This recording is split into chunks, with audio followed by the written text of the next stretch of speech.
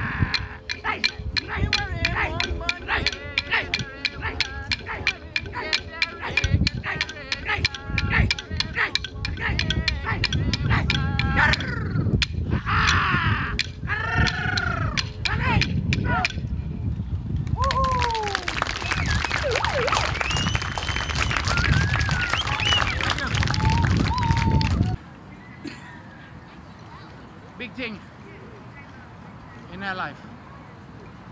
Here we are 50 years celebrating. We knock down doors, you know, and we die in jails.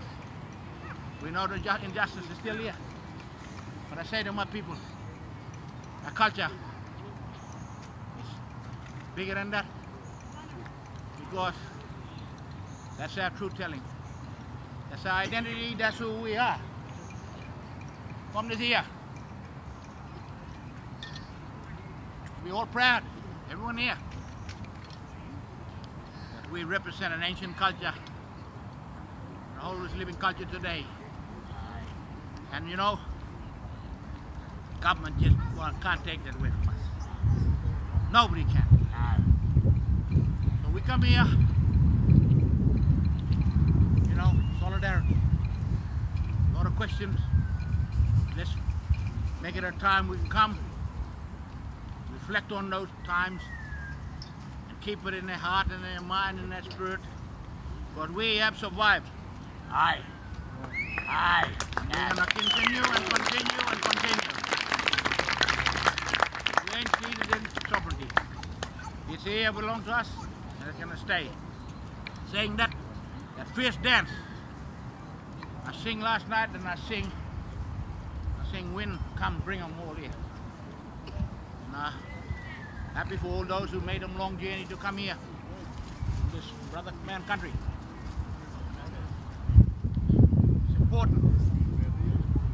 Tomorrow is the big day. You know, we show them that we're still here after 40, 50,000 years. Yes, we are. We'll always be here. They ain't gonna take that away. So that dance was to come and call on And their people, their ancestors, bring them all here. All the warriors who would fight before colonization and after for this country. We do it for our children and our future. So we ask for that permission can water my ear. Welcome in that, to welcome in, get that permission from this country.